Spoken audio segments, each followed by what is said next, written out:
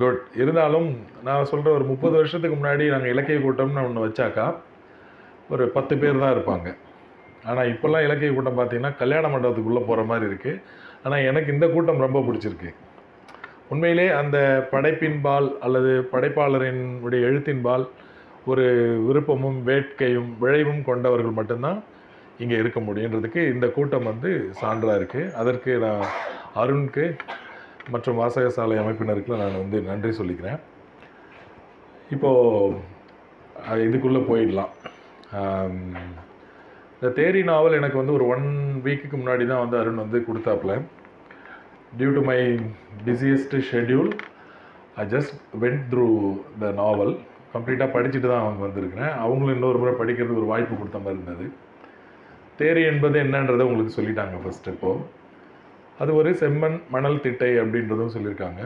இது எப்படி உருவாகுது அப்படின்னு பார்த்தீங்கன்னா கடல் நீரினுடைய வேகம் அதனுடைய சுழற்சி மற்றும் அதனுடைய கடல் நீரினுடைய ஏற்ற இறக்கம் என்று சொல்லப்படக்கூடிய ஓதங்கள் அல்லது அலைகள் அல்ல ஓதங்கள் சொல்லுவாங்க டைட்ஸ். அதெல்லாம் ஒரு குறிப்பிட்ட தூரத்துக்கு ஒரு கிளாஸ்ட்ரிடியம்ன்ற ஒரு பாக்டீரியல் பாக்டீரியல் ஒரு அலைகள்லாம் வந்து சமவெளி பகுதியில் வந்து குன்றுகளை வந்து உருவாக்கிடும். அப்படி குன்றுகளை உருவாக்கும் பொழுது அது செம்மண் மணல் குன்றுகளாகவோ அல்லது மணல் திட்டைகளாகவோ மாறக்கூடிய சூழல் உருவாகும். அது என்னன்னா ஒரு இயற்கை அரண். எந்தெந்த காலங்களில் இயற்கை அரணாக இருக்கும்னா பேரிடர் காலங்களில். சுனாமி. இப்போ நமக்கு தெரிஞ்சிருக்கக்கூடிய சுனாமி சூறாவளி டொர்னேடோ அப்படின்னு சொல்லக்கூடிய அந்த சுழற்காற்று வரக்கூடிய காலங்களில் பாக்கம் பட்டினம் சொல்லுவாங்க சங்க இலக்கியங்களில். பாக்கம்னா கடற்கரையை ஒட்டிய பகுதி பட்டினம்னா அதுக்கு உள்ளே இருக்கக்கூடிய பகுதின்னு சொல்லுவாங்க. அந்த பகுதியில் இருக்கக்கூடிய குடியிருப்புகளை பாதுகாப்பதற்கான ஏதாவது ப்ராப்ளங்களா தள்ளி வச்சுக்கணும். அந்த குடியிருப்புகளை வந்து பாதுகாக்கக்கூடிய ஒரு இயற்கை அரணாக வந்து இந்த தேரிக தேரிகள் இருக்குது அப்படின்னு சொல்கிறாங்க இதை நான் இப்போ எதை சொல்கிறேன்னா இந்த நாவலினுடைய செட்டிங் ஒரு நாவல்னாக்கா ஒரு செட்டிங் இருக்கும். அந்த செட்டிங்கில் இருக்கக்கூடியது. செட்டிங்னால் வேறு எதுவும் இல்லை. எங்கே எப்பொழுது என்ன? இந்த மூணு விஷயம். தேரி. இங்கே எங்கே என்பது என்னென்னா தேரி. இதை தான் நம்ம சங்க இலக்கியத்தில் வந்து சங்க இலக்கியத்தில் இல்லை பொதுவாக அகப்பொருள் இலக்கணத்தில் சொல்கிறாங்க முதற் பொருள் அப்படின்னு. நிலமும் பொழுதும். இங்கே நிலம் என்பது தேரிக்காடு. அந்த தேரியை சுற்றி இருக்கக்கூடிய நிகழ்வு. சரி இதுக்கு என்ன திணை அப்படின்னு பார்த்தா பின்னட்டையில் ஒரு இது எதுலேயுமே குறிப்பிடாத திணைன்னு சொல்லி எழுத்தாளர் சொல்லியிருக்காரு. பட் நான் இதை எப்படி பார்க்குறேன்னா தேரிக்காடு. இந்த தேரிக்காடு இந்த காடு என்பது காடும் காடு சார்ந்த முல்லை நிலப்பகுதியாகவும் இருக்குது அதே மாதிரி மணல் குன்றுகள் மலை போல் இருக்குது சித்திரப்பூ போய் மேலேருந்து தடுக்கி கீழே விழும்போது அவ்வளோ பெரிய ஒரு குன்றுலேருந்து விழுந்தால் தான் விழுந்து சாக முடியும். மணல் இருக்கக்கூடிய மலை. ஏற்கனவே சொன்ன காடும் காடு சார்ந்த இடமும் இருக்குது மலையும் மலை சார்ந்த இடமும் இருக்குது நமக்கு தெரியும் முல்லை என்பது காடும் காடு சார்ந்த இடமும். குறிஞ்சி என்பது மலையும் மலை சார்ந்த இடமும். சிலப்பதிகாரத்தில் என்ன சொல்கிறாங்கன்னா பாலைக்கு இலக்கணமாக சொல்கிறாங்க குறிஞ்சியும் முல்லையும் முறைமையாய் திரை திரிந்த நிலப்பகுதின்னு பாலைத்தனையை சொல்கிறாங்க நிலத்தின் அடிப்படையில் அதாவது முதற்பொருள் என்று சொல்லக்கூடிய அந்த நிலம் பொழுதினுடைய அடிப்படையில் இந்த நிலம் இந்த தேரி நாவல் வந்து பாலைத்திணைக்குரிய நாவலாக நான் கருதுகிறேன்.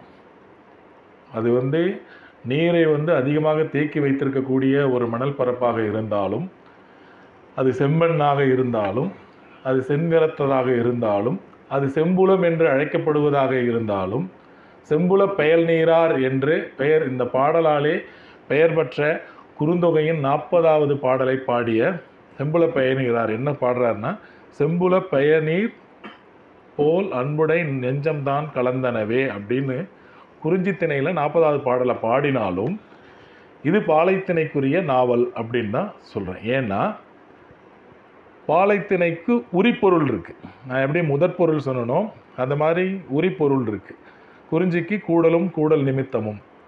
முல்லைக்கு இரங்கலும் இறங் இரங்கல் நிறுத்தலும். அப்புறம் இது மருதத்துக்கு இருத்தலும் இருத்தல் நிமித்தமும் அப்படி வரும். அப்புறம் ஊடலும் ஊடல் நிமித்தமும் வந்து நெய்தலுக்கு வரும். அடுத்தது பாலையில் பார்த்திங்கன்னா பிரிதலும் பிரிதல் நிமித்தமும் அப்படின்னு சொல்லுவாங்க. இங்கே தேரி நாவலில் பிரிவை பற்றி தான் நிறையா எழுதப்பட்டிருக்கு. இரண்டு பெண்கள் பிரிந்தே வாழறாங்க இரண்டு ஆண்கள் பிரிந்தே வாழறாங்க. கடைசியிலே வந்து தங்கராணியை வந்து கூட்டுட்டு வந்து அவன் கூட வச்சிருந்தாலும் தங்கராணி வந்து புத்தி சுவாதீனம் இல்லாத ஒரு சூழலில் இருக்கும் பொழுது அவர்கள் இருவரும் பிரிந்தே வாழ்வதைப் போல தான் இந்த தேரி நாவலில் முடிக்கப்பட்டிருக்கும். ஏன்னா அவங்க அவனுக்கு தெரியும் செல்லக்குட்டிக்கு தெரியும் தங்கராணி என் கூட தான் இருக்கான்னு. ஆனால் தங்கராணிக்கு செல்லக்குட்டியோடு தான் தான் நான் இருக்கிறேன்ற அந்த சந்தோஷத்தை தெரிஞ்சிக்காமல் இருக்கக்கூடிய அந்த பிரிவிலே இருக்கிற மாதிரி. சந்தோஷராஜை பிரிந்து தான் செவ்வந்தி நாவல் முழுக்க வந்துக்கிட்டு இருக்கான் ஸோ இந்த பிரிவை பற்றி பேசக்கூடிய அந்த பிரிவு என்கிற பிரிதலும் பிரிதல் நிமித்தமும் என்கிற பாலைத்திணைக்குரிய உரிப்பொருளையும் இது கொண்டுள்ளதால் தேரி நாவலை நான் பாலைத்திணைக்குரிய நாவல் என்பேன். ஓகே அடுத்தது இந்த குறிப்பிட்ட சூழலில் முதற் பொருளில் பார்த்தீங்கன்னா நிலம் பொழுதுன்னு சொல்லுவோம். அதே மாதிரி கருப்பொருள் சொல்லுவாங்க. இங்கே இருக்கக்கூடிய மக்கள் இறைவன் தெய்வம் மரம் விலங்கு பறவை யாழ் பண் இந்த மாதிரி நிறையா சொல்லுவாங்க. இந்த இருக்கக்கூடிய மக்களினுடைய வெளிப்பாடுகளை இந்த செட்டிங்ஸ்லாம் நம்ம பார்க்கலாம். ஒரு வெஸ்டர்ன் கிரிக் கிரிட்டிக் என்ன பண்ணுறாருன்னா ஒரு நாவல் என்பது என்னென்னா அந்த கிரிட்டிக்னுடைய பேர் வந்து ஸ்டார்டர். ஒரு யூரோப்பியன் கிரிட்டிக்கு. அவர் ஒரு குறிப்பிட்ட நிலப்பகுதியில் இருக்கக்கூடிய மக்களினுடைய கூர்மையான செயல்பாடுகளினுடைய வெளிப்பாடுகளாக கருதினாலும் அது ஒரு கட்டற்ற உணர்ச்சி மயமான செயல்பாடுகளின் வெளிப்பாடாக மட்டுமே அமைந்தால் அது நாவலாக கருதலாம் அப்படின்றார். கட்டற்ற கட்டற்ற கட்டுறாத அப்படின்னா அதை வந்து கட்டுப்படுத்தவே முடியாத உணர்ச்சிகளால் வெளிப்படக்கூடிய ஒரு செயல்பாடுகளினுடைய தொகுப்பாக வந்து சொல்லலாம். அப்படி சொல்லப்பட்டால் அது நாவல்ன்றார். அப்படி தான் எண்ணற்ற கதை மாந்தர்களுடைய கட்டற்ற உணர்ச்சிகளால் அதனுடைய டயலாக்ஸ்னால நிறைய விஷயங்களை இந்த தேரி நாவலை படைச்சிருக்கார். ஓகே. இந்த இடத்துல இதை பற்றி இதுக்கு முன்னாடி யாராவது பேசியிருக்காங்களா அப்படின்னு பார்த்தா பேசியிருக்காங்க. ஃபஸ்ட்டு வந்து பார்த்திங்கன்னா தேரி தேரிக்காடுன்னு இருக்குது அப்புறம் தேரிக்காட்டு இலக்கியங்கள். ஃபார் எக்ஸாம்பிள் ஆர்எஸ் ஜாக்கப்ன்றவர் தான் ஃபஸ்ட்டு ஃபஸ்ட்டு ஒரு கதை எழுதுகிறார் பனை அண்ணன் பனை அண்ணன் தேரிக்காட்டில் முக்கியமான தொழில்னால் பனைசார் தொழில் தான் அவர் எழுதுறது பார்த்திங்கன்னா கிட்டத்தட்ட ஆயிரத்தி தொள்ளாயிரத்தி நாற்பதில் முதல்ல முதல்ல தேரிக்காட்டை பற்றி எழுதக்கூடிய ஒரு நாவல். அதுக்கப்புறம் வரக்கூடிய வே பாலகிருஷ்ணன்றவர் எழுதக்கூடிய தேரிக்காட்டு இலக்கியங்கள் அப்படின்னு. அந்த இலக்கியங்களில் என்னென்னா தாமரை செந்தூர் பாண்டி. தாமரை செந்தூர் பாண்டி அப்படிங்கிற எழுத்தாளர் எழுதப்பட்ட அவரால் எழுதப்பட்ட எழுத்துக்கள் அது எல்லாமே தேரிக்காட்டை பற்றி சொல்லுது. அப்புறம் கவிநேசன் நெல்லை கவிநேசன் என்றவர். அதுவும் வந்து தேரிக்காட்டை பற்றி தான் சொல்லுது. ஏன்னா இவங்க எல்லாருமே பார்த்திங்கன்னா திருநெல்வேலி ராமநாதபுரம் தென்காசி தூத்துக்குடி கன்னியாகுமரி இந்த மாவட்டத்தை சார்ந்தவர்கள். அந்த மாவட்டத்தில் தான் இந்த தேரி மணல் குன்றுகள் வந்து அதிக அளவில் காணப்படுது. கடலூர் பகுதியில் கூட இருக்குது பாண்டிச்சேரியில் இருக்குது இந்த ஈசிஆர்லேயே சில இடங்கள்ல இருக்குது ஃபார் எக்ஸாம்பிள் நம்ம அந்த புலிக்குகைன்னு சொல்லுவாங்க மாமல்லபுரம் போகிற இடம் அந்த இடம் பார்த்திங்கன்னா இப்படி தான் இருக்கும். விந்தை கலைஞரின் உருவச்சித்திரம் சொல்லி சீமோகன் எழுதியிருப்பார். அப்போ நம்ம கொரமண்டல் ஓவிய கிராமம் இருக்கு இல்லைங்களா? அதை தாண்டி போகக்கூடிய ஒரு சில இடங்களும் அந்த மாதிரி தான் இருக்கும். ஸோ இந்த மாதிரி தேரிக்காட்டு இலக்கியங்களில் இவங்கெல்லாம் வந்து சொல்லிட்டு வராங்க. அதுக்கப்புறம் முகிலை ராசபாண்டியன் ஒருத்தர். அவர் வந்து இப்போ ஏன் அந்த இடத்துக்கு வரேன்னா கன்னியாகுமரி மாவட்டத்தில் மண்டைக்காட்டு பகுதியில் இருக்கக்கூடிய இரு பிரிவினர்களுக்கு இடையே இருந்த சாதி சமய பூசல்களை ஒரு நாவலாக வந்து அவர் கொண்டு வர்றார். தேரி மணல். தேரியே மணல் திட்டை தான். அந்த நாவலுடைய பேர் வந்து தேரி மணல்னு.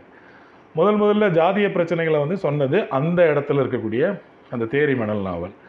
இந்த மாதிரி சங்க இலக்கியத்தினுடைய ஒரு கன்னியாக ஒரு தொடர்ச்சியாக சமூகத்தினுடைய புறையோடி இருக்கக்கூடிய சாதி சமய பூசல்களை சொல்லக்கூடிய ஒரு தொடர்ச்சியாக அல்லது கண்ணியாக ராஜேஷ் வைரபாண்டியனுடைய தேரி நாவலை இந்த வரிசையில் நான் வந்து அடுக்கி பார்க்குறேன். ஓகே. இது வந்து இதுதான் அந்த பிளாட்டு இதில் பார்த்தீங்கன்னா நம்ம நாவல் அப்படின்னு வந்து சொல்கிறோம் இது ஏன் இவர் வந்து ஒரு சிறுகதையாக கொண்டு வந்திருக்கலாம்? அல்லது ஒரு குறுநாவலாக கொண்டு வந்திருக்கலாம்? இது குறுநாவலாகவும் கொண்டு வந்திருக்கலாம் சிறுகதையாகவும் சொல்லியிருக்கலாம். ஒரு பெரிய காப்பியமாக கொண்டு வந்திருக்கலாம். அல்லது காவியம் என்று சொல்லக்கூடிய கவிதை நடையில கூட கொண்டு வந்திருக்கலாம். ஏன்னா மூன்று இடங்களில் வந்து ஒரு கவிதையில் வந்து நாட்டுப்புற பாடல்கள் அப்படின்ற மாதிரி ஒரு மூணு ஜானரில் அழகாக ஒரு ஒரே ஜானரில் மூணு விதமான உணர்வுகளை வெளிப்படுத்தக்கூடிய அட்டகாசமான இதை பண்ணியிருப்பார். ஆனால் நாவல்னு எடுத்துக்கிட்டார். அது ஏன் அந்த நாவல் வடிவத்துக்கு போனார்னா நாவல் என்பது என்ன அப்படின்றத நான் ஏற்கனவே வந்து சொன்னேன் நான். பட் இந்த நாவலினுடைய அறிமுகம் எல்லாருக்குமே உங்களுக்கு தெரியாது அதை சொல்லலாமா வேணாமான்னு எனக்கு தெரியல. ஃபஸ்ட்டு நம்முடைய நமக்கு வந்து மாயிரம் வேதநாயகம் பிள்ளை எழுதிய பிரதாப முதலியார் சத் சரித்திரம் தான் நம்மளுடைய தமிழின் முதல் நாவல்னுவோம். ஆனால் அதுக்கு முன்னாடியே வள்ளலார் எழுதிய ஜீவகாருண்யம் அப்படிங்கிறது இப்போ பேசிக்கிட்டு இருக்காங்க.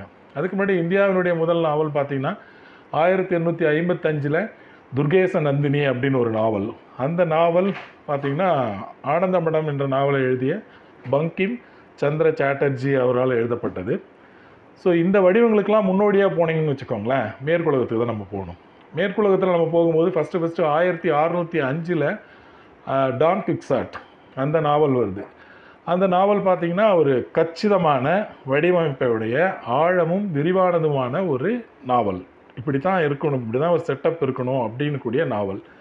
அங்கேருந்த நாவலினுடைய அறிமுகம் வருது. ஆனால் அதுக்கு முன்னாடியே கிட்டத்தட்ட பதினோராம் நூற்றாண்டில் கிபி பதினோராம் நூற்றாண்டில் கிரேக் கிரீக் மற்றும் லாட்டின் அந்த ஏரியாவில் பார்த்திங்கன்னா ஈசாப் ரொமான்சஸ் அந்த மாதிரியான ஸ்டோரிஸ் இருக்குது அந்த டெக்ஸ்ட் வந்து கொஞ்சம் உரைநடையாக இருக்குது ஸோ இந்த மாதிரி பின்னோக்கி போனாக்கா நம்ம இந்த டேனியல் செர்வான்டிஸினுடைய கச்சிதமான ஒரு நாவல் வடிவத்தை கொண்ட ஒரு நூல் எப்படி வந்து டான் பிக்ஸாட் வந்திருக்கும் அந்த மாதிரி இப்போ தேரியினுடைய நாவல் வந்து ஒரு கச்சிதமான வடிவத்தில் இது வந்திருக்கு.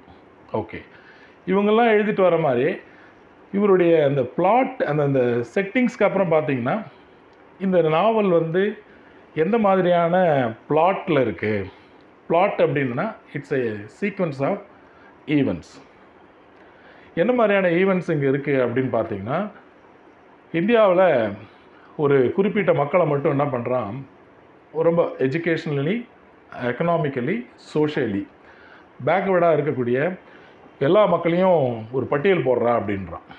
பிரிட்டிஷ் பீப்புள் அதை செய்கிறவங்க இங்கே இருக்கக்கூடிய இந்தியன்ஸ் தான். இண்டாலஜிஸ்ட்னு சொல்லக்கூடிய இந்தியன் ஹிஸ்டாரியன்ஸு அவங்க ஒரு பட்டியல் போடும்போது அந்த ஒரு குறிப்பிட்ட வகுப்பினருக்கு மட்டும் ஷெட்யூல் காஸ்ட் அப்படின்னு வந்து சொல்கிறாங்க அந்த ஷெட்யூல் காஸ்ட்டில் எழுபத்தி எட்டு சாதிகள் வருது. அந்த எழுபத்தெட்டு சாதிகளில் கன்னியாகுமரி தென்காசி தூத்துக்குடி திருநெல்வேலி ராமநாதபுரம் இந்த மாதிரியான மாவட்டங்கள் இருக்கக்கூடிய ஒரு பதினான்கு சாதிகளில் ஒரு சாதி வண்ணான் சாதி. அந்த சாதிக்கும் வண்ணான் சாதி அல்லாத பிற சாதிகளுக்கும் இடையே உள்ள உறவுமுறை அல்லது அவர்களுக்கு இடையே இருக்கக்கூடிய ஊடாட்டங்களை பற்றி பேசுகிறது இவருடைய நாவல். அது நம்ம வந்து அவங்களுக்கும் இவங்களுக்கு இருக்கக்கூடிய விஷயங்கள் எல்லாத்தையுமே ரேணு சதீஷ் வந்து நிறைய விஷயங்களை சொன்னாங்க. அப்படி சொல்லப்பட்டு வரக்கூடிய நாவல் பார்த்தீங்கன்னா இந்த தேரி என்பது ஒரு நகர்ப்புறம் கிடையாது. ஒரு கிராமிய சூழலில் இருக்கக்கூடியது. அந்த வகையில் பார்க்கும்போது நம்மளுடைய முதல் கிராமிய நாவல் நாவல் எதுன்னா மண்ணாசை என்ற ஒரு நாவல். சங்கர் ராம் என்பவர் எழுதியது. அந்த நாவலை நினைவுறுத்த சொல்ல சொல்லக்கூடியது இந்த தேரி நாவல். அந்த சீக்வன்ஸ் நான் சொல்லிட்டு வந்தேன் இல்லைங்களா? அதில் பார்த்தீங்கன்னா சீக்வன்ஸ் எப்படி வருதுனாக்கா அவங்க ஏற்கனவே எல்லாம் அந்த சீக்வன்ஸ் எப்படி நிகழ்வு வருது அப்படின்னு சொன்னாங்க. நான் எப்படி பார்க்குறேன்னா இரண்டு தண்டவாளங்கள் சடாரண தோன்றுகிறன அந்த ரெண்டு தண்டவாளங்களும் எப்பவுமே ஒரு காப்பியத்துக்கோ அல்லது நாடகத்துக்கோ ஒரு நாவலுக்கோ ஒரு ஆரம்பம் நடு நடுவில் அல்லது மு அப்புறமா கிளைமேக்ஸ் முடிவுன்னு இருக்கணும். சடாரண தோன்றி ரெண்டும் வந்து பேரலாக ட்ராவல் பண்ணி ஒரு இடத்துல கன்வர்ஜ் ஆகி அப்படியே ஒன்று கூடி ஒற்றை தண்டவாளமாக அப்படியே பயணிச்சுட்டே இருக்கும். இது எப்படி பயணிக்குதுன்னா அந்த சமூகத்தில் இருக்கக்கூடிய எண்ணற்ற கதை மாந்தர்களினுடைய உரையாடல்கள் மற்றும் சொல்லாடல்கள் மற்றும் சொலவடைகள் அவர்களுக்கு இருக்கக்கூடிய ஏக்கங்கள் அவர்களுடைய மகிழ்ச்சிகள் அவருடைய துயரங்கள் அவர்கள் படும் அல்லல்கள் துன்பங்கள் இவற்றை வெளிப்படுத்தக்கூடிய செயல்பாடுகளின் வாயிலாகவும் மேலும் மனிதர்களிடத்தும் பிற உயிர்களிடத்தும் அன்பு காட்டுதலை வெளிப்படுத்தக்கூடிய செயல்பாடுகளாகவும் அதே போல அன்பு காட்டுதலைப் போலவே அன்பை பெறுவதற்கு ஏங்குதலை வெளிப்பாட்டு வெளிப்படுத்தக்கூடிய செயல் செயல்பாடுகளை வெளிப்படுத்தக்கூடிய நிகழ்வுகளாகவும் தொடர்ச்சியாக இருக்குது இந்த இடத்துல இந்த சீக்வன்சஸை எல்லாத்தையும் ஃபிக்ஸ் பண்ணக்கூடிய மெயின் யாருன்னா கதாசிரியர். அவர் என்ன பண்ணுறாருன்னா நாவலுக்கு வெளியிலே இருந்துட்டு ஒரு தேர்ட் பர்சனாக இருந்துக்கிட்டு எல்லாத்தையுமே படைக்கிறார். அது அப்படியே ஒரு ஜேர்னி மாதிரி போயிட்டே இருக்குது இந்த போயிட்டுருக்கும் பொழுது இந்த சீக்வன்சஸ் எல்லாமே போய் கடைசியாக ரேணு சதீஷ் அவங்க சொன்ன மாதிரி நான் ஸ்டோரி சொல்ல வரல. நான் சொல்ல உங்களுக்கு புரியுன்னு நினைக்கிறேன். அவங்க சொன்ன மாதிரி கடைசியில் அது முடிஞ்சிடுச்சுன்னு நினைக்கும் போது மறுபடியும் அந்த சீக்வன்ஸ் ஆஃப் ஈவெண்ட்ஸ் வந்து கண்டினியூஸாக ஆகிட்டே இருக்குது அதை வந்து வாசகர்கள் எடுத்துக்கிறாங்க. இது பிளாட் செட்டிங்ஸ் செட்டிங் சொல்லியாச்சு பிளாட் சொல்லியாச்சு. அடுத்தது நாவலுக்கு முக்கியமான விஷயம் எதுனாக்கா இந்த டைப் ஆஃப் நரேஷன் எப்படி சொல்கிறாங்க கதை சொல்லல் முறை எப்படி இருக்குது அப்படின்னு பார்த்தா already I told you that third point of view நம்ம தமிழில் படற்கை நிலை அப்படின்னு சொல்லுவோம். நான் போனேன் வந்தேன் அப்படின்னு சொல்லாமல் அவன் அப்படின்னா செல்லக்குட்டின்னு தான் ஆரம்பிக்கிறார் முதல் அத்தியாயம். அந்த கதை சொல்லல் முறை பொறுத்து பார்த்தீங்கன்னா ஒரு தேர்ட் பாயிண்ட் ஆஃப் வியூவில் இருந்து ஒரு தேர்ட் பர்சனாக எல்லா கதை மாந்தர்களையும் இவரே உருவாக்கக்கூடிய ஒரு டிரெக்டராக இருக்கிறார். இது ஒரு சாதாரணமான உத்தி தான் கதை சொல்லலை. மூன்றாவது நபராக இருந்து சொல்லக்கூடிய பொதுவான உத்தி. அடுத்தது யதார்த்தமான கதையாடல். யதார்த்தமான கதையாடல்கள் வந்து நம்மளுடைய இந்த நம்மளுடைய நாவல் பரப்பில் ரொம்ப அதில் முக்கியமான ஒரு மூன்று எழுத்தாளர்களை சொல்லலாம். கீரா அண்டு பூமணி அதுக்கு அடுத்தது பார்த்திங்கன்னா சோதர்மன். இவங்கெல்லாம் வந்து யதார்த்த கதையாடல்கள் மூலமாக இருந்தாலும் மாய யதார்த்தவாதத்தையும் உள்ளுக்குள்ளே வச்சுருப்பாங்க. அவங்க ஏற்கனவே வந்து பேசினாங்க ரேணு சதீஷ் அமானுஷ்யமான விஷயங்கள் கனவுகள் வருது அப்படின்னு சொல்லி. அந்த மா மாய யதார்த்தவாதத்தையுமே உள்ளே வச்சுக்கிட்டே யதார்த்தமாக நாவலை வந்து கொண்டு போகிறதுல இந்த மூணு பேர் வந்து கில்லாடிங்க.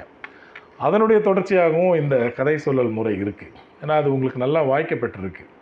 அந்த சித்திரப்பூனுடைய அந்த இது கடைசி வரைக்கும் இருக்கிறது. தொம்மச்சாமி போய் அவன் உள்ளே போய் கதவை சாத்திக்குவான். ஏதோ நாற்காலி விழுந்த சத்தம் கேட்கும் பெண்கள் கதவை தட்டுவாங்கன்றது. அதெல்லாம் சொல்லாமல் சொல்லுதல். இலக்கியத்தினுடைய அழகே அதுதான். ஸோ அந்த மாதிரியான சொல்லல் முறை வந்து உங்ககிட்ட வாய்ச்சிருக்கு. அப்புறம் அந்த சீக்வன்ஸை எப்படி சொல்கிறீங்க இந்த ஈவெண்ட்ஸை நீங்கள் எப்படி சொல்கிறீங்கன்னு பார்த்தீங்கன்னா துண்டு துண்டு துண்டு துண்டு அப்படி போட்டுறீங்க. ஒரே அத்தியாயத்தில் நாலு துண்டு இருக்கும். ஒன்றுக்கொன்று தொடர்பில்லாத துண்டுகள் இருக்கும். அந்த துண்டுகளை நீங்கள் வந்து கனெக்ட் பண்ண வேண்டியது யாரோட வேலைன்னா வாசகனோட வேலை. இட் இஸ் எப்படி சொல்லுவாங்கன்னா it is a fragmented type of அல்லது frightened type of story telling அப்படின்வாங்க there are twenty six types of story telling and also twenty six types of story writing இருக்குது இதில் பார்த்தீங்கன்னா இவர் அந்த ஈக்வன்ஸை சொல்லும் பொழுது முன் பின் பின் முன். முன்னாடி சொல்லுவதை பின்னாடி சொல்கிறது பின்னாடி சொல்ல வேண்டியதை முன்னாடியே கொஞ்சமாக சொல்லிடுறது. இந்த மாதிரி சொல்லி சொல்லி சொல்லி நம்மளை வந்து வாசகனை வந்து அந்த டெக்ஸ்ட்டுக்குள்ளே பிரதிக்குள்ளே அப்படியே ஒரு ஊடாட்டமாக நம்மளை கொண்டு போயிட்டே இருப்பார். அது வந்து வாசகனுடைய வாசக மனசை வந்து அட்டன்டிவாக வச்சுருக்கக்கூடிய ஒரு உத்தி. தெரிஞ்சு செஞ்சாரா இல்லை தெரியாமல் செஞ்சாரான்னு எனக்கு தெரியல. ஓகே பட் அதை இது ஒரு உத்தியாக பண்ணிகிட்ருக்காங்க இதில் இன்னொரு உத்தி என்னென்னா சேஞ்ச் ஆஃப் க்ரொனாலஜி அப்படின்னு சொல்லுவாங்க. கால வரிசை முறையை வந்து மாற்றி மாற்றி போடுறது. சிவந்தி சில விஷயங்களை சொல்லிகிட்டே வருவா அப்படியே ஆஃப் பண்ணிவிடுவா வேறு யாரை வேணாலும் உனக்கு கல்யாணம் பண்ணி வைக்கிறேன். ஆனால் அவன் வேணாம். ஏன் ஜாதி பா ஜாதி பார்க்குறியா நீ அப்படின்னா ஜாதிலாம் கிடையாது. வேறு யாரை வேணாலும் நான் பண்ணி வைக்கிறேன். இந்த மாதிரி செவ்வந்தியினுடைய நிலைப்பாட்டில் இருக்கட்டும் செல்லக்குட்டியின் நிலைப்பாட்டில் இருக்கும் பின்னாடி வரக்கூடிய விஷயங்களை முன்கூறுதல் போலவே சொல்லுவாங்க ஆனால் சொல்லாம விட்டுருவாங்க. பின்னாடி போய் ஒரு திடீர்னு ஒரு சடார்னு ஆரம்பிக்கும் போது நம்ம அந்த இடத்துக்கு போக போக வேண்டிய ஒரு சூழலை வச்சுது. ஸோ சேஞ்ச் ஆஃப் குரோனாலஜி அப்படின்னும் கால வரிசை முறையை வந்து மாற்றி மாற்றி பண்ணுறது அடுத்து இன்னொரு உத்தி இருக்கு என்னென்னா நம்ம வந்து மகாபாரத கதையை எடுத்தோன்னா அதில் நிறைய உபகதைகள் வந்துக்கிட்டே இருக்கும். கதைக்குள் கதைன்னு சொல்லுவாங்க. ஸ்டோரி வித்தின் எ ஸ்டோரி அந்த மாதிரியான ஸ்டோரிஸை வந்து நிறைய சொல்லுங்க செவ்வந்தி எடுத்துக்கிட்டால் அவங்க அப்பா பற்றி பேசும்போது அவங்க அப்பா அந்த சமூக மனிதர்களோட எப்படி இருப்பாங்கன்னா அந்த விஷயங்களை சொல்கிறது அதே மாதிரி இந்த இவங்களுடைய செல்லக்குட்டியினுடைய ஃப்ரெண்ட்ஸுங்க பாதாளமுனி அசரியா இவங்கெல்லாம் அப்படியே ஒவ்வொருத்தருக்கும் ஒரு ஒரு கதை வந்து கிளை கதையாக போயிட்டே இருக்கும். கதைக்குள் கதை கிளை கதை இந்த மாதிரியான கதைகள் வந்து நிறையா போயிட்டுருக்கும் இது ஒரு டைப் ஆஃப் ஸ்டோரி டெல்லிங் அப்புறம் இன்னொன்று முப்பத்தி நாலு அத்தியாயங்கள் இருக்குது அந்த முப்பத்தி நாலு அத்தியாயங்களும் முப்பத்தி நாலு தவணைகளாக நான் வந்து நான் ஃபீல் பண்ணுறேன் இன்ஸ்டால்மெண்ட்டு லோன் போட்டால் கட்டணும் இல்லையா? அந்த மாதிரி நான் அதை ஃபீல் பண்ணேன். ஏன்னா எப்படா அது முடியும்? அல்ல எப்படி தான் முடியும்? எப்படா அது முடியும்? அல்லது எப்படி தான் முடியுன்ற ஒரு ஒரு என்ன சொல்கிறது நம்மளை வந்து ஒரு சஸ்பென்ஸ்லேயே வச்சுருக்கக்கூடிய அது ஒரு உத்தி இருக்குது. இது மேக்ஸிமம் பார்த்தீங்கன்னாக்கா க்ரைம் நாவல்ஸில் ராஜேஷ்குமாரனுடைய விவேக் ரூபலா அந்த மாதிரியான வரும்போது ஒரு பேரலல் ஸ்டோரி ஓடிக்கிட்டே இருக்கும் அப்படின்னு சொல்லுவாங்க. ஸோ அந்த உத்தி இருக்குது அந்த ஒவ்வொரு அத்தியாயத்தின் முடிவுலையும் அவர் என்ன பண்ணுறாருன்னா ஒரு கிளிஃப் ஆங்கரை வைக்கிறார். ஒரு திடுக்கிடல். அந்த கிளிஃப் ஆங்கரை வச்சுட்டு அடுத்தது போகும்போது வாசகனுக்கு கொஞ்சம் ஓ இது சொன்னாங்களே ஏற்கனவே என்ற மாதிரி. வாசகனை வந்து அட்டன்டிவாக வச்சுருக்கக்கூடிய ரீடரை வச்சு எழுதப்பட்ட ஒரு ரீடபிலிட்டி இருக்கக்கூடிய ஒரு நாவலாக இதை நான் சொல்லுவேன். சொல்முறையில் ஓகேங்களா? ரீடரை வச்சு நீங்கள் எழுதும்போதே ரீடரை வாசகனை வந்து மனசில் வச்சு எழுதப்பட்ட ஒரு ரீடபிலிட்டி இருக்கக்கூடிய ஒரு வா நாவலாக இதை நான் சொல்கிறேன் அடுத்தது நிறைய வட்டார ப- வட்டார சொற்களை வந்து பண்ணியிருக்கேன். ஏன்னா அது நிலம் பொழுதுன்னு வரும்போது அந்த நிலத்துக்குரிய விஷயத்துக்கு நீங்கள் அந்த சொற்களை தான் கையாண்டிருக்க வேண்டும். இதெல்லாம் வந்து ஸ்டைல் ஆஃப் ரைட்டிங் சொல்முறை. அதுக்கு அடுத்தது என்னென்னா இதிலேருந்து நீங்கள் என்ன இந்த நாவலை படித்ததுலேருந்து ஒரு வாசகன் எதை அடைய முடியும் அப்படின்னு பார்த்தா என்னை பொறுத்த வரைக்கும் ஒரு நாலு பாயிண்ட்ஸை நான் சொல்ல முடியும். என்னென்னா இது வந்து சிலப்பதிகாரம் படித்த உடனே அரசியல் படைத்தோருக்கு அறம் கூற்றாகும் அந்த மாதிரி நீதி இல்லை மாரல் அந்த மாதிரி இல்லை பட் இந்த நாவல் வந்து படித்ததுக்கப்புறம் என்ன வரும்னு பார்த்தீங்கன்னா சாதி என்பது என்னதான் நீங்கள் வேறு ஒரு இடத்துல போய் இருந்துட்டு இழிவான சாதியில் நீங்கள் இருந்து பழகி ஒரு குறிப்பிட்ட காலம் வரும் வாழ்ந்து விட்டு வந்தாலும் உங்களை புறக்கணித்து இருந்தாலும் நீங்கள் எல்லாராலும் புறக்கணிக்கப்பட்டு இருந்தாலும் உங்களுடைய பாரம்பரியம் உங்களுடைய மரபு உங்களுடைய மரபு தொடர்ச்சி உயர்ந்த சாதியினிடத்திலிருந்து தொடங்கியது என்று தெரிந்தால் நீங்கள் ஏற்றுக்கொள்ளப்படுவீர்கள். சாதியம் என்பது பிறப்பின் அடிப்படையில் உள்ளது வளர்ப்பின் அடிப்படையில் அல்ல அப்படின்ற ஒரு முடிவுக்கு வருவாங்க கரெக்ட் தானுங்களே ரேணு சதீஷ்? செவ்வந்தியும் செல்லக்குட்டியும் பார்க்கும்போது யார் வெறுத்தாங்களோ அவங்க எல்லாருமே ஏற்றுக்குவாங்க நீ ஏன் இவங்களோட ஆட்சியோட நீ ஏன் தனியாக இருக்கிற? நீ தான் என் புள்ளன்னு ஆயிடுச்சு இல்லை. வாங்க எல்லாரும் வாங்க. பால் துறை வருவான் அவன் செவ்வந்தி வருவான் அப்புறம் எல்லாருமே வருவாங்க. அண்ணன் பொண்ணுன்னு சொல்ல மைனி வருவான் எல்லாரும் வந்து அவனை அப்படியே தூக்கிக்குவாங்க. ஆனால் அவன் பாருங்க எனக்கு எல்லாமே என் உலகம் என் ஆட்சி தான் நான் உங்களோட வரமாட்டேன் அப்படின்ட்டு செல்லக்குட்டி வந்து பக்கம் இருப்பான் அந்த இடத்துல அழகாக நீங்கள் பண்ணியிருப்பீங்க ஒரு மனிதத்தன்மை இது ஒன்று எந்த ஜாதியாக இருந்தாலும் பாவம் செஞ்சால் அவன் கண்டிப்பாக தித்தியே ஆகணும் அவனுடைய இதை. அதை அதை நீங்கள் சொல்லியிருக்கீங்க எந்த ஜாதியில் எந்த பிறப்பில் இருந்தாலும் பாவம் செய்தவனுடைய மனசாட்சியை அவனை கொண்டுடும் பொட்டமையை போட்ட செவ்வந்திக்கு அது உறுத்திக்கிட்டே இருக்கு. தங்கவேலுக்கு சித்திரப்பூவுக்கு சித்திரப்பூவை வந்து சாவதற்கு காரணமாக இருக்கக்கூடிய தங்கவேலுக்கு அது உறுத்திக்கிட்டே இருக்கு. தொம்பச்சாமியும் வந்து நிலத்தை இப்படிலாம் பண்ணிட்டமேன்னு சொல்லிட்டு அவன் போய் தூக்கு மாட்டிக்கு போட்டு போயிடுறான். முத்துச்சாமி இவனை ஏமாத்தினது அவன் வேற மாதிரி போயிடுறான். இந்த மாதிரி யார் நீங்கள் வந்து அறம் சார்ந்த விஷயங்களை அறமின்மையாக அறம் வெர்சஸ் அறமின்மை அல்லது நன்மை வெசஸ் தீமை இந்த ரெண்டுத்துக்கும் இடையிலான ஊடாட்டத்தில் ஒரு பெரிய போராட்டம் நடந்தால் கடைசியாக என்ன பண்ணுன்னா அறம் தான் ஜெயிக்கும் அப்படின்னு சொல்லக்கூடிய விஷயங்களை நிறைய இடங்களில் நீங்கள் சொல்லியிருப்பீங்க அது எல்லாமே எளிய மனிதர்களுடைய துன்பத்தை தான் வந்து சொல்லியிருப்பீங்க அதில் பார்த்தீங்கன்னா அந்த சொலவடைகளால் நிறைய இடங்களில் சொல்லியிருப்பீங்க அதில் முக்கியமானது ரேணு சதீஷ் சொன்னாங்க. அந்த டைலாக் எப்படி வரும்னா உன் செருப்பு போட்டு பார்த்துக்கிட்டோமா அப்படின்னு அந்த சித்திரப்பூ வந்து தங்கவல்கிட்ட கேட்கும்போது அடி சிறுக்கி கழுதைக்குட்டி கண்டுக்குட்டி ஆகிடுமா கண்ணுக்குட்டி அப்படின்னு கேட்பான்.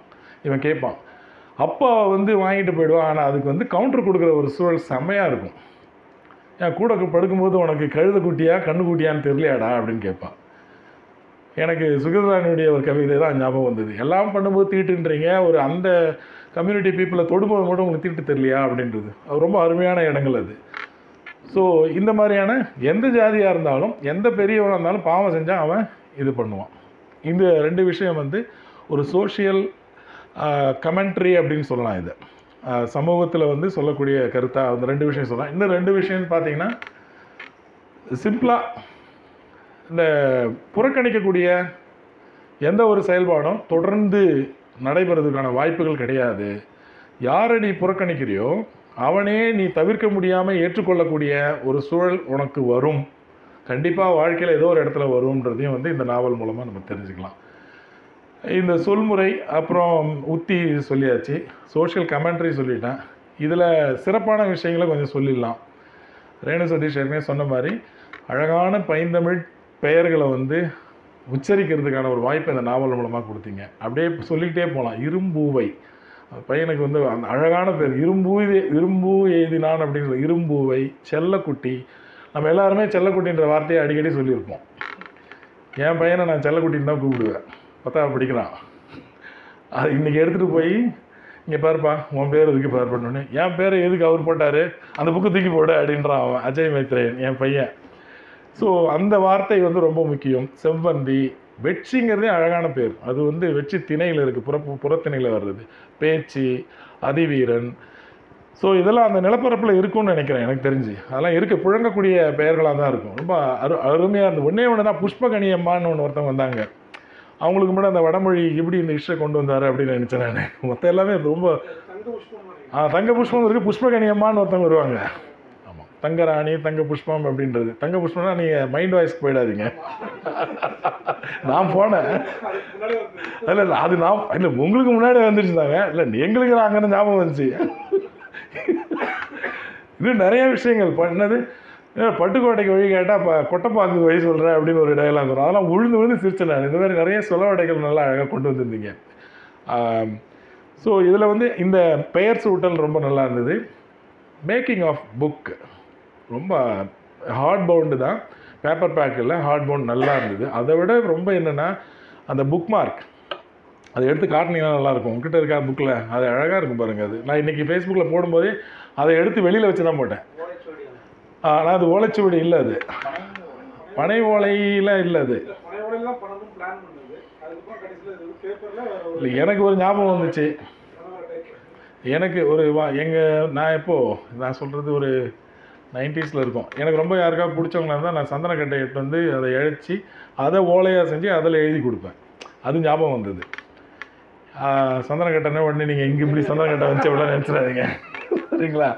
வாங்குறது தான் ரைட்டு அதெல்லாம் நம்மளுடைய இந்த நாஸ்டாலஜிக்கான விஷயங்களை வந்து ஒரு டெக்ஸ்ட் வந்து நம்மளுக்கு ஞாபகப்படுத்தினாலே அந்த டெக்ஸ்டினுடைய வெற்றி தான் அது பதினோரு ப- பதினொன்றில் பால்ய காலத்தினுடைய நிகழ்வுகளை நமக்கு வந்து சொல்லுதுனால அதே ஒரு பெரிய விஷயம். அண்டு வேற என்ன இதில் சொல்கிறது ரொம்ப சிறப்பான இந்த making of leaf and making of book நிறைய சொல்லலாம் இந்த மாதிரி உங்களுடைய உழைப்பு நிறையா அதில் இருக்குது. இதில் மற்றபடி இதில் விட்டுடலாம். இதெல்லாம் பண்ணி பண்ணாமல் இருந்தால் நல்லாயிருக்கும் அப்படின்றத சொல்லணும் என்னை பொறுத்த வரைக்கும் நான் வந்து ஒரு வாசகராகவும் படிச்சிருக்கேன் எழுத்தாளராகவும் படிச்சுட்டேன். ஒரு விமர்சகராகவும் நான் வந்து பேசி ஆகணும். ஜஸ்ட் ராஜேஷ் வைரபாண்டியன் நல்லா பண்ணியிருக்கீங்க அப்படின்னு சொல்லிட்டு நான் டேப் பண்ணிவிட்டு தட்டி கொடுத்துட்டு போகிறதுல எனக்கு கிடையாது.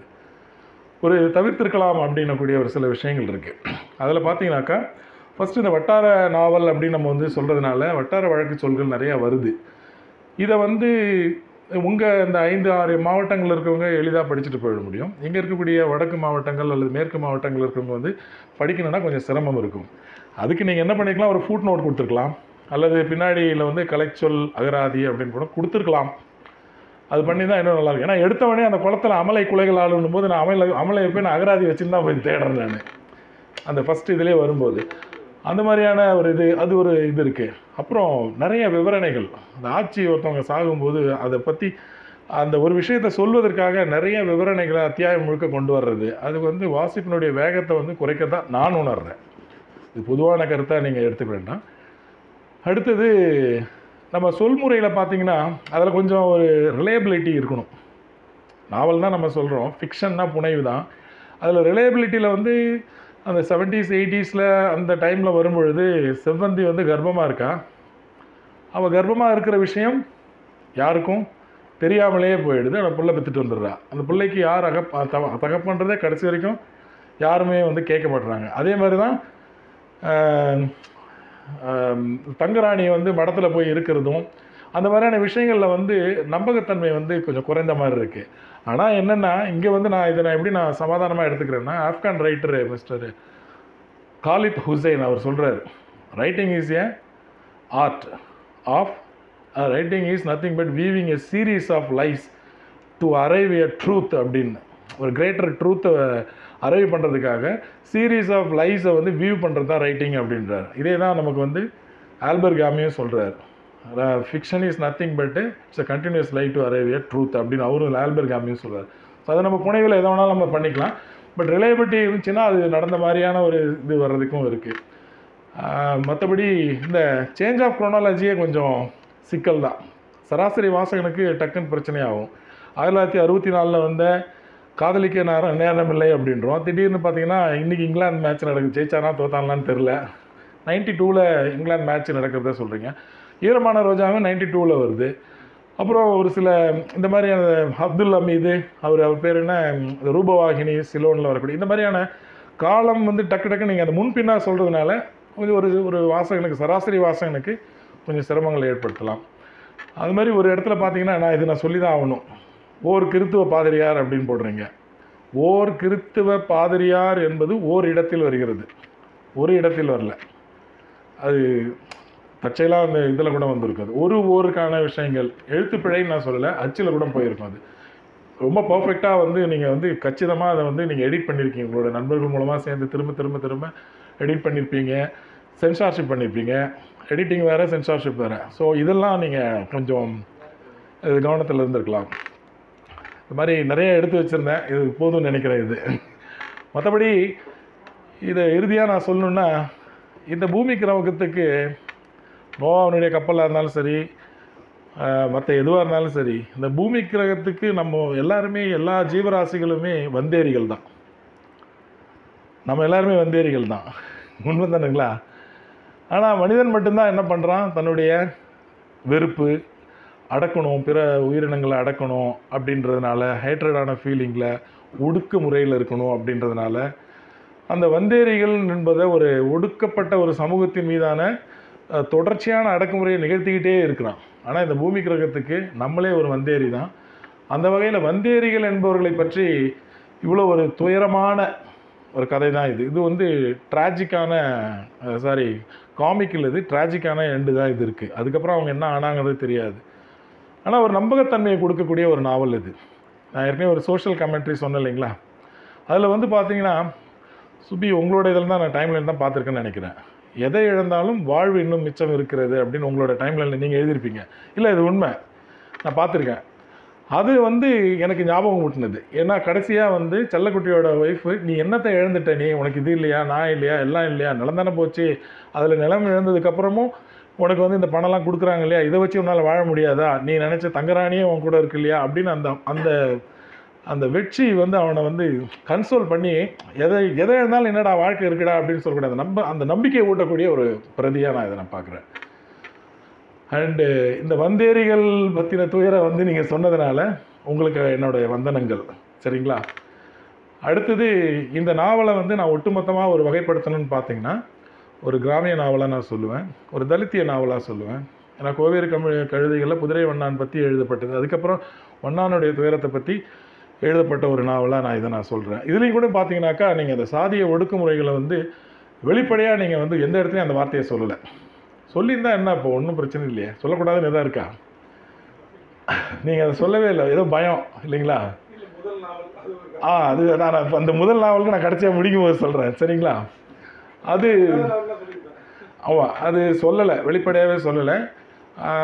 இப்போ எல்லாமே வந்து ஓப்பன்னஸ்க்கு வந்துடுச்சு நமக்கு. சாதி பற்றிய வெளிப்படைத்தன்மை அது இல்லைன்றதும் அதே மாதிரி வலுவான நிகழ்வுகளை இன்னும் கூட நீங்கள் சொல்லியிருக்கலாம். அந்த அந்த காலத்தில் அவ்வளோ அடக்குமுறைகள் இருந்திருக்கு. நானும் அந்த அடக்குமுறை அடக்குமுறைகளை வந்து அனுபவித்தவன் நான்.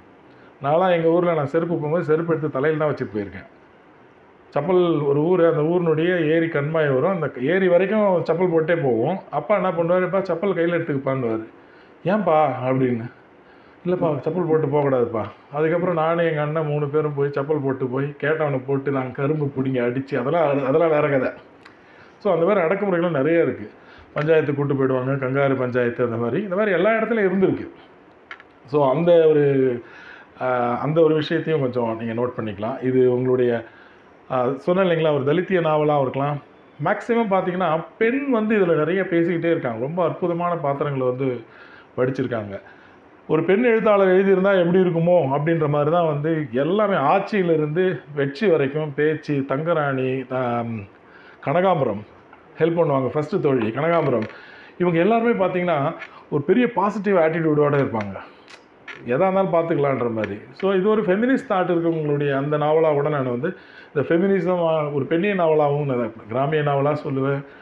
அண்டு மானுடவியல் நாவலாகவும் நான் சொல்லுவேன். குறிஞ்சி தேன் அப்படின்னு ஒரு நாவல் ராஜம் கிருஷ்ணனுடைய ஒரு நாவல். அதுதான் முதல் நாவல் மானுடவியல் நாவல் ஆந்த்ரோபாலஜிக்கல் நாவல்னு இன்றைக்கி கூட இந்து தமிழ் திசையில் அவங்கள பற்றின கட்டுரை வந்திருக்கு. கரிப்பு மணிகளை பற்றி ஆனால் குறிஞ்சி தேனை பற்றி எழுதலை அவர் எழுதினவர். Okay let in be so இந்த மாதிரி ஒரு கேட்டகரைஸ் பண்ணலான்னா அவங்களுடைய நாவல் பார்த்திங்கன்னா எதா சொல்முறையில் யதார்த்தவாத நாவல். உள்ளடக்கத்தில் இருக்குது பார்த்தீங்கன்னாக்கா பெண்ணியம் இருக்குது தலித்தியம் இருக்குது மார்க்சிசம் இருக்குது ஓகேங்களா? ஸோ மார்க்சிய நாவல்னு சொல்லலாம். அண்ட் எல்லாத்தையும் தாண்டி இது ஒரு எழுதுறவுனா சோஷியாலஜிக்கல் நாவல் ஒரு சமூக நாவலாக இருக்குது ஏன்னா எழுத்து என்பது மண்ணுக்கு இறங்கணும். கடைசியில் கூட அதை முடிக்கும் போது செல்லக்குட்டி என்ன பண்ணுவோம் அந்த மண்ணை எடுத்து பிசைஞ்சு ஸ்மெல் பண்ணுவான். அது தேக்கி வச்சிருந்த நீரினுடைய வாசம் வந்ததாக சொல்லியிருப்பீங்க. நான் எழுத்து என்பது மண்ணுக்கு இறங்கணும். மண்ணை பற்றி தான் எழுதணும் மனிதர்களை பற்றி தான் எழுதுங்க. நீங்கள் மனிதர்களை பற்றி எழுதியே வச்சுருக்கீங்க. மூன்று நாட்டுப்புற பாடல்களை வந்து உள்ளே இறக்கி பாடியே வச்சுருக்கீங்க. ஆக்சுவலாக நான் நினச்சது என்னென்னா எனக்கு டைம் இருந்தால் ஒரு பாட்டையாக நான் பாடணும்னு நினச்சேன் நான். முதல் முதல்ல வச்சுருந்த அந்த பாட்டை பாடலான்னு நினச்சேன். ஓகே பார்த்துக்கலாம். ஸோ ஒரு நல்ல அற்புதமான ஒரு டெக்ஸ்ட்டு நீங்கள் நல்லா கொடுத்துருக்கீங்க. நல்லா ஒர்க் பண்ணியிருக்கீங்க தொடர்ந்து எழுத என்னுடைய மனமார்ந்த வாழ்த்துக்கள். இந்த வாய்ப்பு கொடுத்த வாசகசாலைக்கும் நன்றி. ஆனால் இது உங்களோட முதல் நாவல்ன்றதுனால இதோட முடிச்சுக்கிறேன். நன்றி.